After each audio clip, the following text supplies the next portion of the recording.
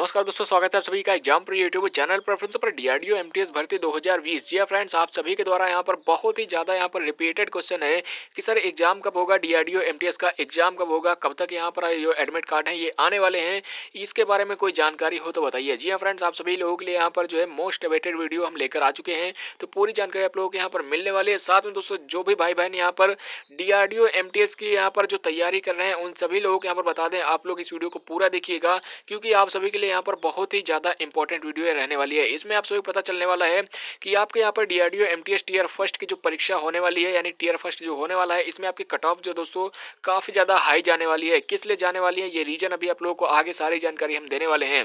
तो इससे पहले वीडियो को स्टार्ट करें। अगर आपने चैनल को सब्सक्राइब नहीं किया तो सब्सक्राइब करके बेल आइकन को दबा दीजिएगा और अपने सभी दोस्तों में एक बार इस वीडियो को शेयर कर दो, ताकि सभी तक पूरी जानकारी पहुँच जाए। चलिए स्टार्ट करते हैं। तो चलिए दोस्तों, सबसे पहले हम यहाँ पर बात कर लेते हैं कि आपके यहाँ पर डीआरडीओ एमटीएस की जो अठारह पदों पर भर्तियाँ आई हैं। इनकी यहाँ पर कट ऑफ़ जो है वो हाई क्यों रहने वाली है?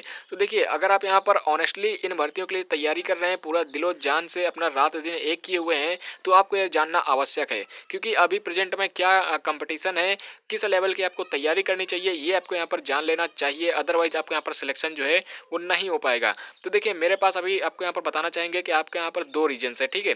दो रीजन्स में से पहला रीजन ये है कि आपके यहाँ पर 2019 में जैसा कि मालूम है, भर्तियों की यहाँ पर बौछार हुई थी।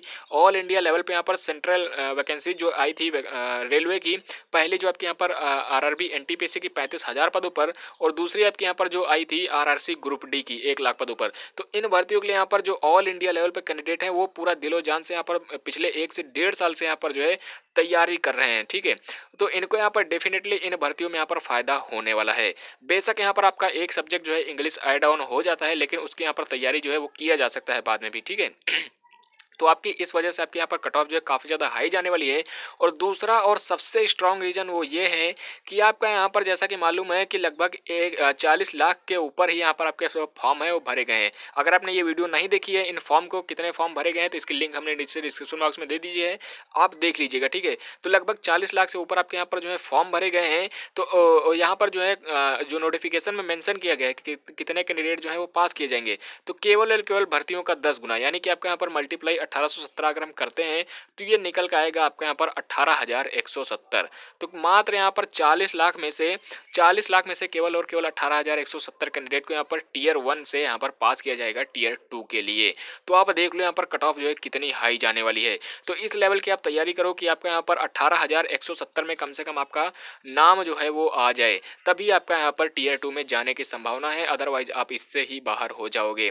अब यहाँ पर आपका बात कर लेते हैं जो मेन पॉइंट की आपका एग्ज़ाम जो है कब तक होगा तो देखिए चालीस लाख से ऊपर यहाँ पर फॉर्म आए हैं तो इन फॉर्म के यहाँ पर स्क्रूटनी करना और इसके बाद में यहाँ पर इनका स्टेटस भी रिलीज़ होगा तो इनमें यहाँ पर थोड़ा सा टाइम लगने वाला है ऑल इंडिया लेवल पर आपके यहाँ पर चालीस लाख फॉर्म आए हैं तो इनके यहाँ पर सेंटर अलाउट करना ये सब प्रोसेस में थोड़ा सा टाइम लग जाता है तो आप ये मान के चल सकते हैं कि यहाँ पर अप्रैल के लास्ट में आपका जो है यहाँ पर एग्ज़ाम जो है ये स्टार्ट हो जाएँगे ठीक है अप्रैल के लास्ट वीक में आपके यहाँ पर कंडक्ट होने स्टार्ट हो जाएँगे और इससे आपके यहाँ पर दस दिन पहले आपके यहाँ पर जो एडमिट कार्ड है वो जारी हो जाएँगे ठीक है तो आप लोग ये ध्यान में रखिएगा और इसी को यहाँ पर ध्यान में रख के अपनी तैयारी जो है वो करते रहिएगा।